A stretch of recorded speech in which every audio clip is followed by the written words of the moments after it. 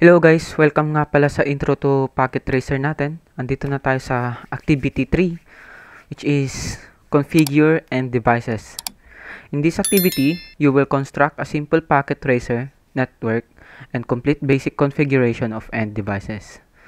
Step 1, syempre, launch lang natin yung packet tracer natin. Ngayon, pag na-open natin yung packet tracer natin, proceed na tayo sa step 2. Step 2, build the topology. Create the network shown below. Oh, network shown below. Ito yun guys. Gagayin lang natin. Sabi niya, use fast ethernet 01 on the switch for 0. Wait lang, zoom na natin guys. Gagayin lang natin. Ito. Need natin ng dalawang PC, tapos isang switch, tapos isang server. Gagayin lang natin. Punta tayo sa and devices. PC, dalawang PC. Tapos, switch. Kahit anong switch dyan. Yan. Tapos, server. Server. Ito. Next naman, Sa, dahil natuto na tayo kung paano mag-connect, ang kukunin lang nating cable ay yung straight through cable. Click natin. Control, click lang natin. Pas Ethernet 0. Tapos, pas Ethernet 01. Tapos next, pas Ethernet 0. Ethernet 02. 0 lang din. Ayan. Cancel na natin. Ayan. Ang sabi dito, once the link lights all turn green, click on server 0, then configure. Tayin lang natin mag-green lahat, guys. Ayan.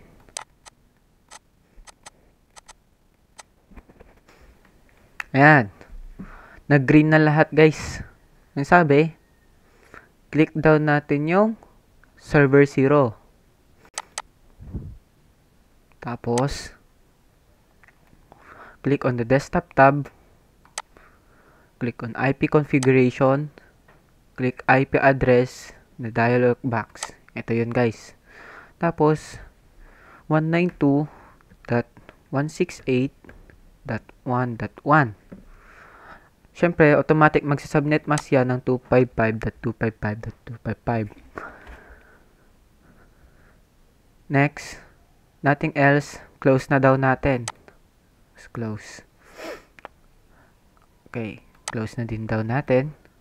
Sined ang sunod ang PC0. Okay. Click on the desktop tab. IP configuration. Tapos, 192.168.1.2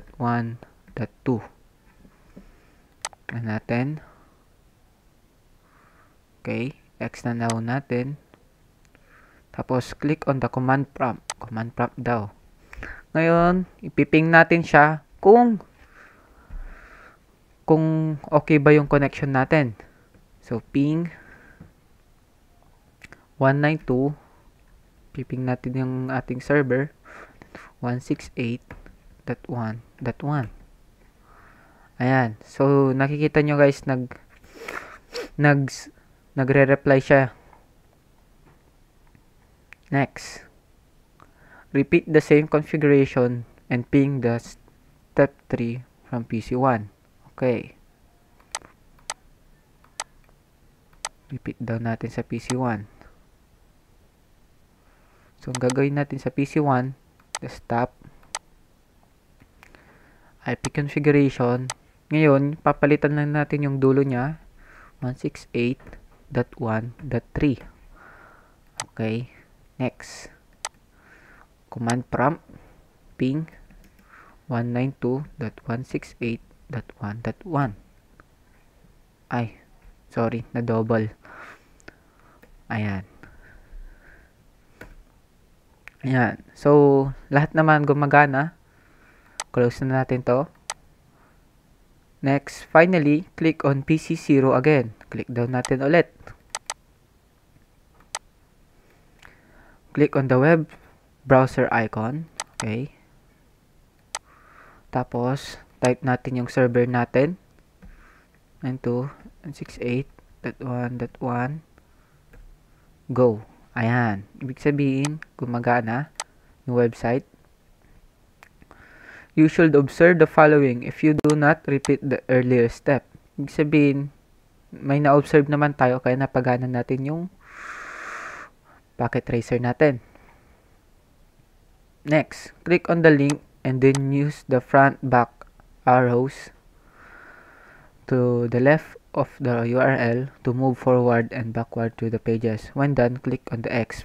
Okay, mag-explore muna tayo dito guys. Small page, Okay, hello world. Back.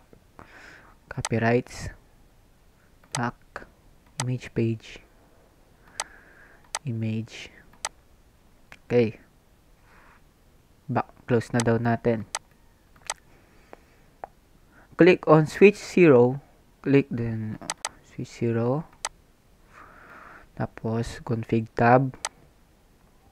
Note, previously a warning about not using the config tab was given since it was it isn't available on real network equipment. But we are explaining this tab for two reasons. Some some simple devices only have config tabs. The config tabs can be useful for basic learning of commands, especially for beginners. Ibig sabihin lang nito guys, hindi siya yung real network equipment pero pwede natin mapagpraktisan. Uh, punta tayo sa config tab.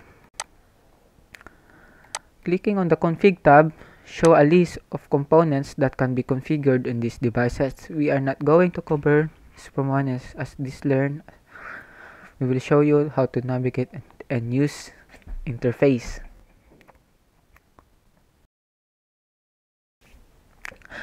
The global setting allows a user to change the name of a device that displays in the workspace. It also allows for changing the internal name shown at the command prompt as well as buttons for saving, loading, exporting, and erasing configuring my configuration files. C. Double click on the hostname dialog box highlighting the words switch. Type central and press enter. Packet Tracer will display iOS command. So, ilisin lang natin tong hostname. Palitan natin ng central. Tapos, hit enter, boom. Bale, ito. Switch enable, switch configure terminal, terminal. Ito magpapakita. Ayan. Bale, parehas na tayo. Tapos, this will be the commands that will be entered. Letter D. Clicking on the Fast Ethernet 01 label will bring up an Ethernet interface to be configured. Fast Ethernet. Okay. Tapos, letter F, select the CLI tabs to switch the CLI interface.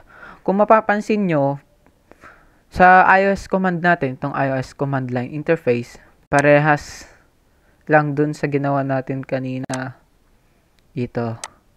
Ayan, sa central command. Ngayon, gagawin natin, beside the command prompt, okay, click na natin, then type shutdown and press enter twice. Oh, press enter twice. Type shutdown. Okay? Enter twice. Oh, yan. Bale, na-shutdown na natin. Ito magpapakita. Central config if shutdown. Central config shutdown. Ito. Hanggang dito. Ayan. Bale, parehas. This command just shut down the interface from the command line. Click the red X, the upper right. Oh, kan. Bale, ko-close na natin. Close natin. Ayan. Na-notice nyo na red na yung line ng cable natin. Kasi, down natin. At ngayon, wala na tong connection. Hindi na siya active. Okay, balik na tayo. This covers some basic configuration operation of end devices of Packet Tracer. Please save and close the device. Bali, tapos na natin yung activity 3 ng configuring end devices natin. So, na-shutdown natin siya. Pa- paano naman kung yung ibabalik natin, sir? Ganito lang yan. Click natin yung switch 0, CLI command. Type lang natin yung command na no shutdown. Ayan. Ang sabi dito, change state to up. Pag binalikan natin, ayan, blinking green ulit siya. At magkakaroon na ulit ng connection. Sana may natutunan kayo sa activity 3 natin. Please like and subscribe naman ang ating YouTube channel. Thank you po. Dito na po nagtatapos ang ating activity.